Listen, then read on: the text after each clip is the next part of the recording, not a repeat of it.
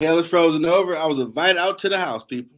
I don't know why Jeff acting like he ain't been invited. Okay, first of all, mm, she, she lying to you, America. She lying. Let's start there. She lying. We finally did the, the prom send off. Thank God, Lord. Oh. So she ain't got no excuses now. I can't do the show, Jeff. I got some. Uh, nah, Negro, we done with all that. No, first of all, time to work now. Last week I was on the sick and shut in list. First of all, yeah, that week you was sick. That's true. Nah,